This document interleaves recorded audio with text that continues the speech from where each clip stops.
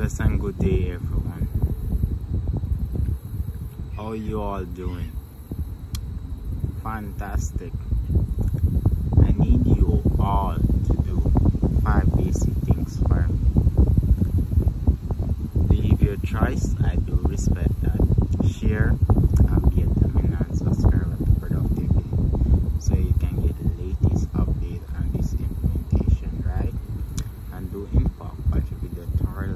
your spare time. And do also leave a comment so I can elaborate with you, right?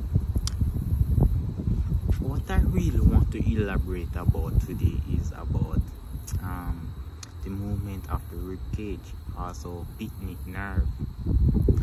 That nerve is very important and it um, take um, two type of movement. Type 1 movement also the bucket handle movement, the upward movement of air and stuff like that and type 2 movement.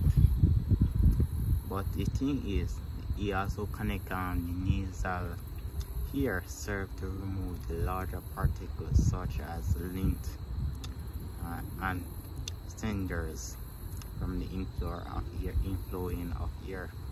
Through the nose, nose, mouth, trachea, lungs, and diaphragm. Right and left nasal um, chamber separated by the sphincter. It's like um, cartilage. This, the same thing. The cartilage that the skull is separated, the right and left chamber. It's also a lining inside of it, but I will describe it um, the lining in the next video. But I do thank you